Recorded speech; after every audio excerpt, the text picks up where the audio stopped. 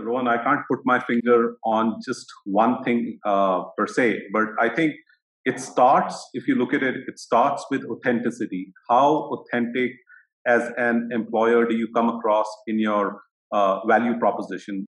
I think the second thing all of us recognize and are seeing it is, is the ability to be resilient. So, as an employer, uh, do you show resilience in terms of are you reactive to a crisis or you're basically holding your ground? Uh, number three, I think it's it's all about empathy. Uh, you know, nobody is asking for exceptions or anything, but it's it's just the way that we all understand we are in it together.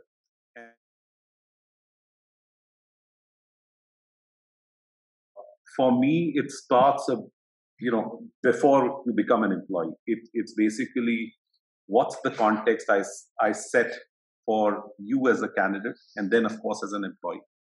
Uh, you know, to Ankita's point, uh, empathy, care become critical at this stage. Uh, also, as I said, you know, your ability to be real uh, becomes important. Uh, but fundamentally, uh, and Ankita pointed to this earlier, was the sense of purpose. Why am I joining an organization? What's the purpose there? And I think Abhijit called that out uh, in his own way in terms of so the purpose uh, becomes the center point.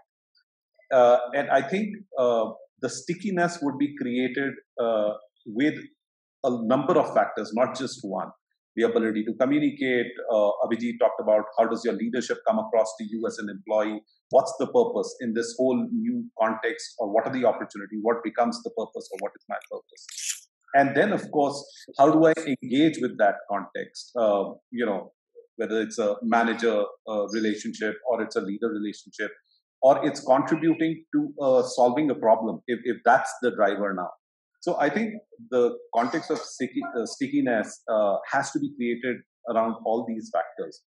And every engagement is a moment of truth, whether you're a candidate, whether you're an employee. When I engage as an organization, it's a moment of truth. You will judge me and I will judge you. But if in those five seconds or 10 seconds or 20 seconds, we are able to have a sense of that I can trust you and you can trust me, I think that is that becomes then the single most factor to say, uh, you know, this is a great place to work. You know, we, we are entering a phase. Uh, so you look at the uh, the millennials, and now you have the Gen Zs ent- entering the workforce, and then you have a multi-generational workforce at the back. And this this is something we struggle with at uh, Unisys on a continuous basis. How do you deal with an organization which has six sets of generations working together, and how do you fi- how do they find that one purpose or one thing which excites them.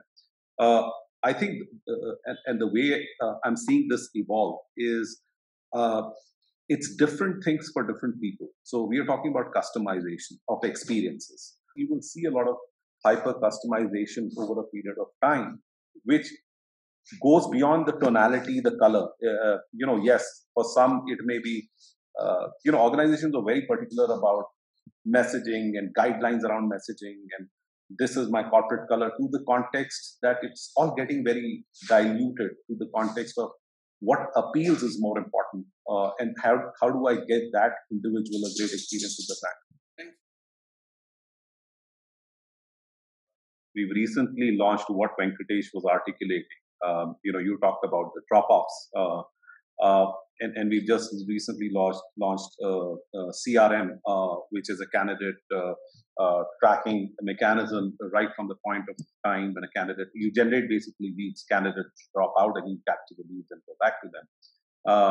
And it sits over Workday, and it's a very interesting tool.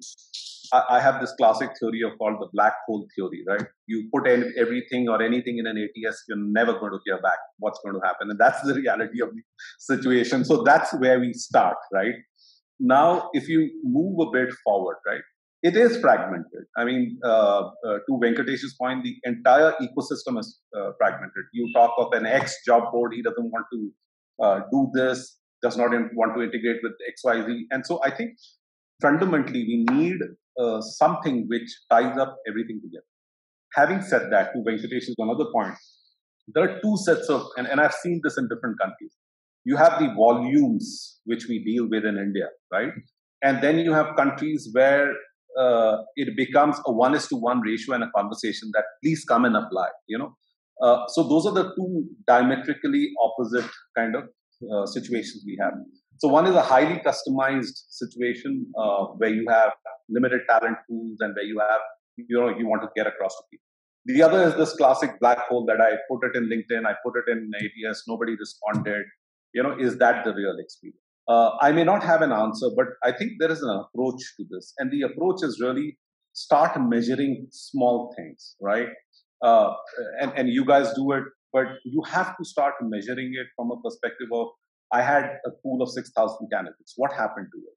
Uh, where did those guys go? How did those guys come to me? How did those guys apply? Uh, it is now imperative. How are you going to look at it from a perspective of if X walked out uh, from your application process, what was it? And most often than not was, oh, I need to fill this uh, form of a hundred field. I take you to my website and get you to fill a form or a format. I need to be driven uh, to say, okay, you know, I'll fill out those 50 fields and then wait, right? Uh, the journey doesn't end there. The wait never ends. And so, how do you put a context to the wait? And we've tried it. I mean, we look at statistics in terms of dispositioning candidates. Uh, he's applied, yes, no, can we get back to him? And the experience is very automated. So candidates will say, yeah, I got a mail, uh, but it meant nothing. It just said, we'll get back to you. You have to segment it, saying that, okay, if I'm looking at system engineering folks, this is where I go. Technology excites them. Interesting tidbits about technology excite them. Let me get and build, you know, a webinar kind of a content for him. Uh, build a context where something new is happening, and I tell him, hey, this is what this is the quality of work. This is what we are doing at uh, X company. So I think it has to be segmented and it has to be very focused in terms of the talent you're targeting.